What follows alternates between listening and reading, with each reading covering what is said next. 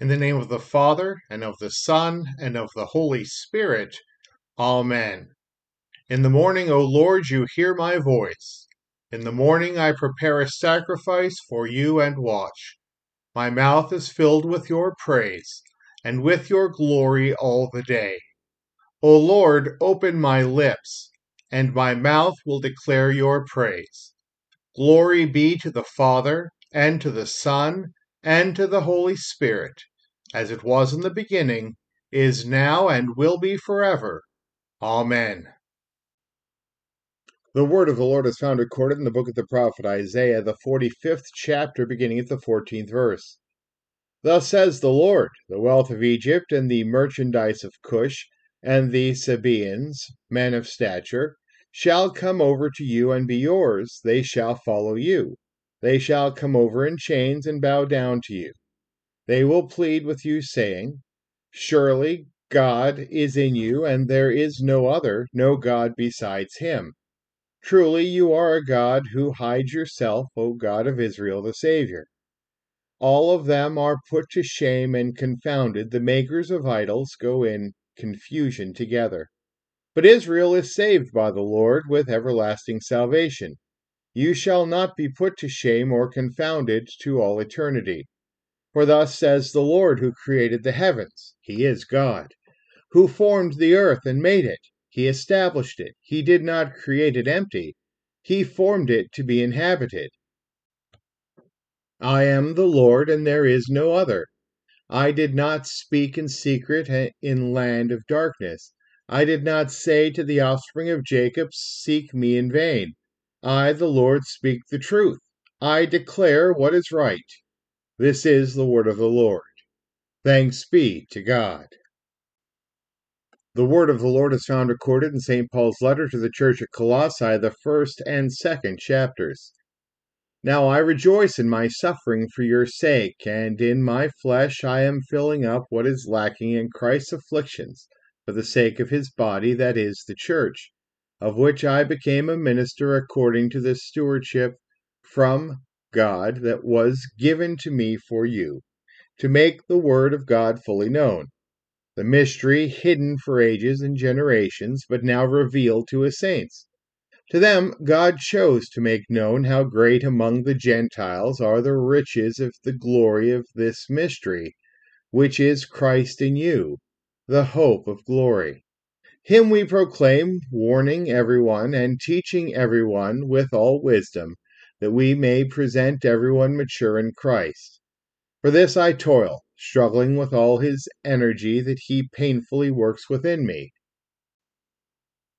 For I want you to know how great a struggle I have for you, and for those at Laodicea, and for all who have not seen me face to face, that their hearts may be encouraged being knit together in love, to reach all the riches of full assurance of understanding, and the knowledge of God's mystery, which is Christ, in whom are hidden all the treasures of wisdom and knowledge. I say this in order that no one may delude you with plausible arguments. For though I am absent in body, yet I am with you in spirit, rejoicing to see your good order and the firmness of your faith in Christ. Therefore, as you received Christ Jesus the Lord, so walk in him, rooted and built up in him and established in the faith, just as you were taught, abounding in thanksgiving. This is the word of the Lord. Thanks be to God. The Holy Gospel is found recorded in the Gospel of St. John, the eighth chapter, beginning at the twelfth verse. Again Jesus spoke to them, saying, I am the light of the world. Whoever follows me will not walk in darkness, but will have the light of life. So the Pharisees said to him, You are bearing witness about yourself, your testimony is not true. Jesus answered, Even if I do bear witness about myself, my testimony is true, for I know where I came from and where I am going. But you do not know where you where I come from or where I am going. You judge according to the flesh. I judge no one. Yet even if I do judge, my judgment is true, for it is not I alone who judge, but I and the Father who sent me.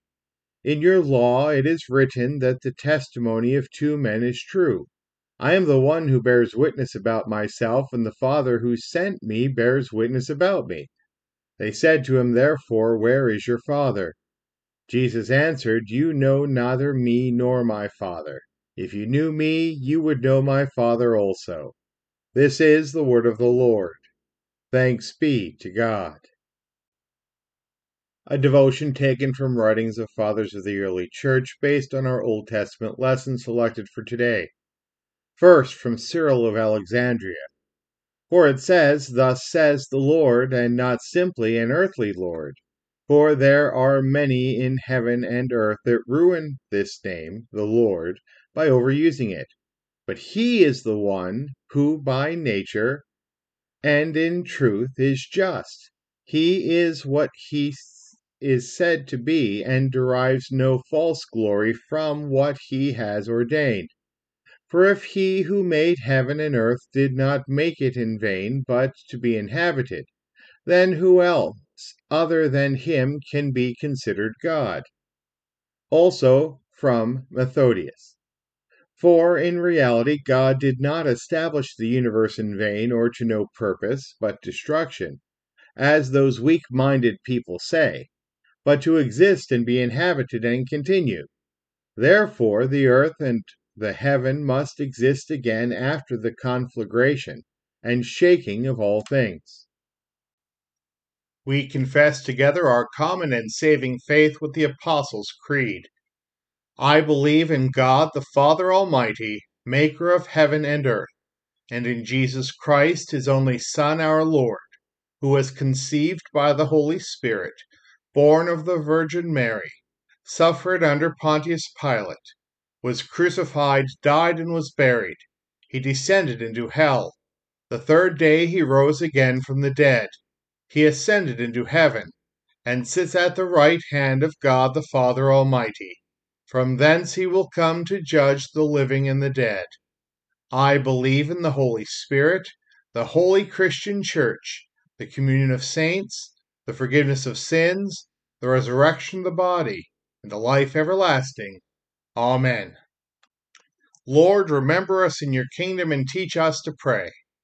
Our Father, who art in heaven, hallowed be thy name. Thy kingdom come, thy will be done, on earth as it is in heaven. Give us this day our daily bread, and forgive us our trespasses, as we forgive those who trespass against us. And lead us not into temptation, but deliver us from evil.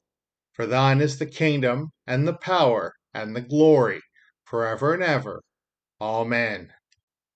Almighty God, merciful Father, who created and completed all things, on this day when the work of our calling begins anew, we implore you to create its beginning, direct its continuance, and bless its end, that our doings may be preserved from sin, our life sanctified, and our work this day be well pleasing to you through Jesus Christ our Lord.